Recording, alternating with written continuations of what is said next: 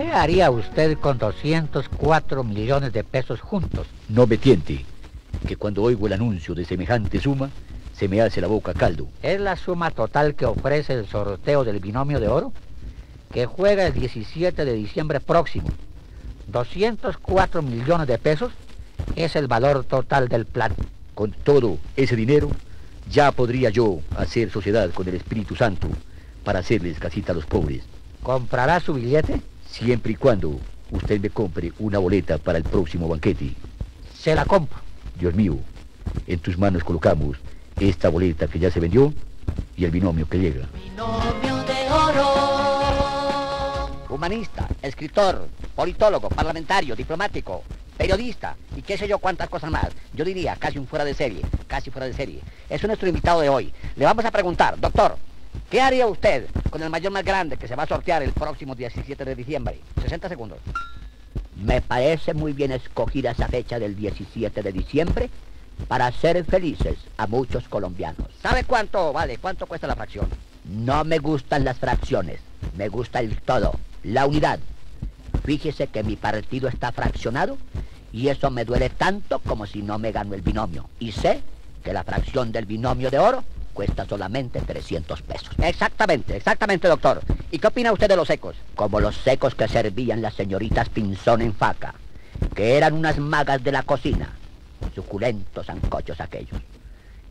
Yo, que ya no aspiro a presidencias, ni a designaturas, ni a embajadas, quedaría muy satisfecho. Si no, con el mayor, por lo menos con el primer seco, de 20 millones. Pero no olvide, no olvide usted, que hay dos secos de 5 millones cada uno. Yo sí sé quién necesita ese seco, pero no de 5 millones de pesos, sino de votos. Binomio de oro. ¿Qué hombre, autor? ¿Y qué más, hombre? ¿Cómo va la cosa, pues? Óigame, autor, ¿usted se apuntaría al binomio? Nada de binomios. Las colectividades como los estados necesitan una sola cabeza. Nada de binomios. No es el único binomio que ha servido. Y eso solo para fabricar bachilleres. Es el binomio de Newton. No, doctor. Vea, hombre, yo le hablo del sorteo del binomio de oro. El de los 204 millones de pesos en premios. Con un premio mayor de 80 millones. Un premio seco de 20 millones y un segundo seco de 10 millones. Mm, Eso es otra cosa. Es otra cosa. Es admirable. Es un sorteo ambicioso y desarrollista, no como esos sorteos miserabilistas, que nada dejan para beneficio de quienes lo juegan. Muy bueno, muy bueno el binomio.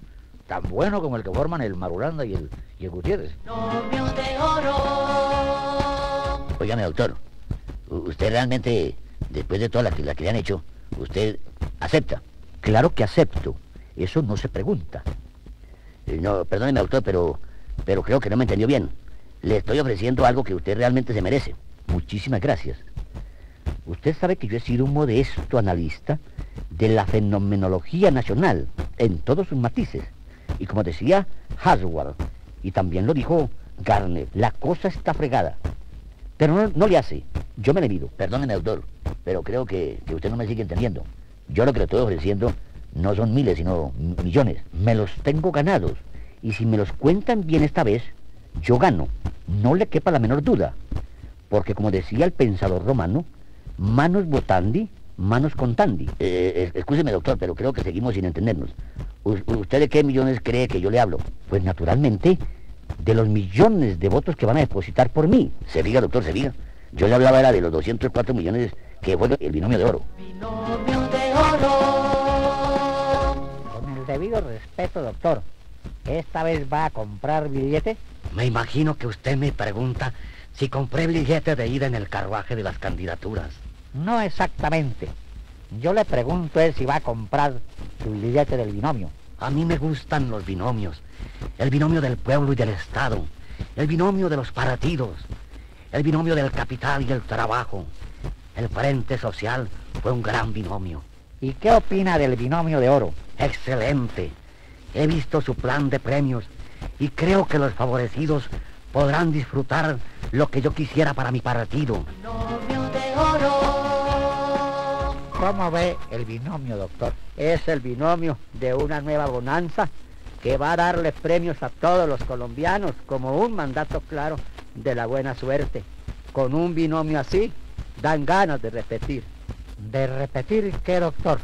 Hablo de repetir los premios. ¿A quién no le va a gustar ganarse dos veces el premio mayor? ¿Cree usted que el binomio es el mejor sorteo de Colombia? Naturalmente, porque con él puedo decir lo que debe decirse desde mi candidatura. Viene desde Medellín a crecer en Bogotá. ¿Usted cree que segundas partes sí son buenas? Eso lo sabe cualquier bachiller de los que quieren repetir años. Estas son elementales preguntas, elementales preguntas. Doctor, no nos vamos a demorar, no nos demoramos. Doctor, ¿cree usted en la necesidad de la unión? Lo creo firmemente. No hay poder igual al que surge de un binomio de oro como este, cuando se unen los dos mejores planes de premios de Colombia. ¿Cree usted, doctor, cree usted en, en- en la buena suerte? Obvio.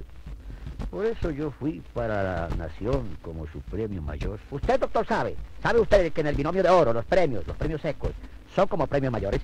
Con un premio seco del binomio, cualquiera puede instalar una nueva frontera en su porvenir. Entonces todos los colombianos, todos los colombianos, deben esperar lo mejor, lo mejor para el 17 de diciembre. Ese día, sin que yo lo ordene, los ganadores pueden irse a dormir tranquilos a las 12 de la noche en punto. Binomio de Oro, con el respaldo de las loterías de Bogotá y Medellín.